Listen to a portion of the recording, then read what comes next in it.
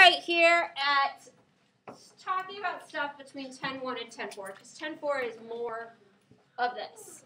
So I'm going to talk about this line. Now this is not a line, this is a segment, right? It ends. It has endpoints, not arrows. It has endpoints. Sweet. So the domain is the x values that this segment could include. Okay? So the domain, x has to be between what two numbers? Negative six. Okay, so we say negative 3, x has to be greater than or equal to it. And x has to be less than or equal to 6. So we put x in the middle, and then these numbers. So I really wish we would pay attention, guys, instead of playing on our phone or doing something else, because you're going to ask me this in two seconds, because you don't know how to do it. So x is greater than or equal to negative 3. See, negative 3 is right here. And x is less than or equal to 6. So it's in between those. Oh, okay, let's talk about the range. What is y greater than or equal to? 8, negative 8. And what is y less than or equal to? 4. Okay? It's between these two numbers, right? Right here and right here. Because it's in, it's bigger than negative 8, right? But it's less than 4. Okay? Oh, because it's going upwards. Pardon for the interruption, attention all staff. At this time, could you please dismiss the boys varsity golf team to attend their golf meet? Once again, please dismiss the boys varsity golf team to attend their golf meet. Also, could you please dismiss the girls JV softball team to meet their bus at the west end pool doors? Once again, please dismiss the girls JV softball team to meet their bus at the west end pool doors. Thank you. Okay, so I'm going to keep going. We are looking at the back page, the front of the back page, number one. Is everybody here? Yes. Get to this page.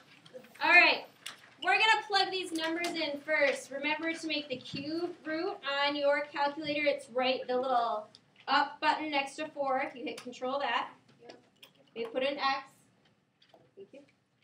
And so we're going to put in numbers for that. Okay. Cube root of negative 8 is negative 2. Cubed root of negative 1 is negative 1. Cube root of 0 is 0. Cube root of 1 is 1. And cube root of 8 is 2. So at negative 8, I'm at negative 2. At negative 1, I'm at negative 1. At 0, I'm at 0. At 1, I'm at 1. And at 8, I'm at 2. So we have that little funky cube root. Okay, what is the domain for this? What are the possible x's? All the numbers. All real numbers. Remember, I do that double R for all real numbers. What about the range? All, all real numbers. All real numbers. As infinity goes on, it gets closer and closer to infinity. just like an. Remember, this packet is due tomorrow. Okay. Minimum and maximum. Does it have a minimum or maximum? No. No, none. Did it vertically shift up or down? No. No. Did it horizontally shift right or left? No. Is there a line of symmetry? No. Not symmetric. If I folded this in half, do you see how this would go up here and this would go down here? They don't meet each other. So it's not symmetric. End behavior. As x approaches infinity, what does y approach? Infinity, right? Keeps going up. As x approaches negative infinity, so that's to the left, what is y approaching? Negative infinity. Good. Okay. So you think of it this way: when it says x is approaching infinity, you're saying as x as we're going to the right, what's y doing? Going up. Going up. So that's why we say positive infinity. Okay. Negative infinity means we're going to the left. So as x approaches, is getting smaller and smaller, going to those negative numbers. What is y doing? Going down. That's why we say negative infinity. Okay? So, how did I know, if I wasn't looking at the graph, how did I know there was no vertical shift? We remember, right, that they go under here?